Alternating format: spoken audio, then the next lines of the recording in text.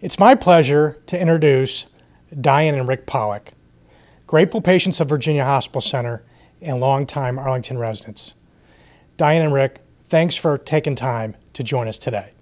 Hi, I'm Rick Pollack, and as you can tell from this accent, it's a Brooklyn, New York accent, but I've lived here in Arlington, as Diane often reminds me, for over 35 years. And uh, I'm very glad to be here and part of the Virginia Hospital Center family. Hi, my name is Diane Pollack. I'm a lifelong Arlington resident. I've lived here my entire life other than college, and Virginia Hospital Center is very important to us. One of the things, uh, as president and CEO of the American Hospital Association, I often get asked in a variety of different forums is, hey, you know everyone, where do you get your care? You can go anywhere. And my response is always my local community hospital, uh, the Virginia Hospital Center. I have great confidence in them, and uh, I've been a loyal patient to them as my family has over the years.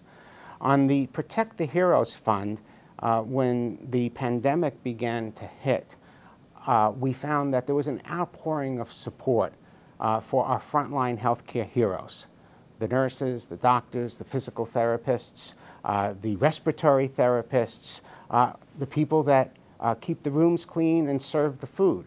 And uh, a lot of people in this country wanted to help. And thanks to the American Association of Health Philanthropy and the Creative Coalition, which is an organization that represents a lot of actors, uh, they created this fund. And this fund really is a way in which people can go to a portal uh, across the country, select their individual local hospital, and make a contribution to them uh, to help us, uh, particularly when it comes to purchasing protective, personal protective equipment. Uh, which was uh, at one point a very uh, scarce item, and it continues to be a concern in terms of our supply chain. Uh, we were also pleased that the Major League Baseball Association, the Players Association, not only gave an endorsement, but a substantial contribution as well.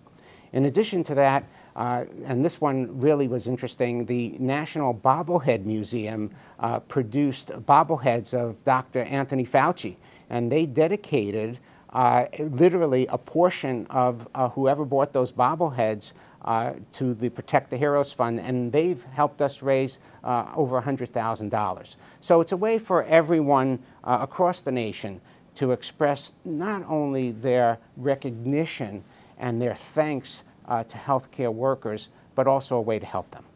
I uh, began uh, my time here in Arlington, 1955, and by then it was a small hospital. Now it's, I think, four times as large. Um, still a community hospital, even though it's a fabulous, well-known hospital, still my hometown hospital. It's our local community hospital, and that's why we rely on it for the care of ourselves and our entire family. Having something close by that you know is going to give you good care is always accessible and a very reassuring feeling that you can come in when you need something and know you'll be taken care of. Can I just add that uh, I've also been a patient here on several occasions and it's always been a positive experience. Uh, not only have I always had good medical outcomes, which is key, but the staff is just phenomenal.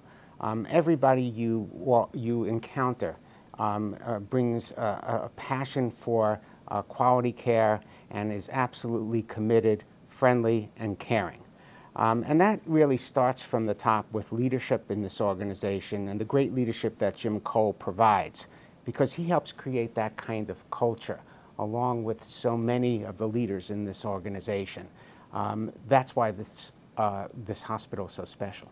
And if I could just say one more thing about that, we've been here, like I said, my entire life. I've had my parents, obviously, were here when I was growing up. Rick's mother has come to visit us from Brooklyn. We have children, we have grandchildren. All four generations of our family have been here at one time or another, and every time we've had quality care, good outcomes, as Rick said, but also you really feel like you're part of a family, and that goes a long way to helping get you into a better frame of mind for health.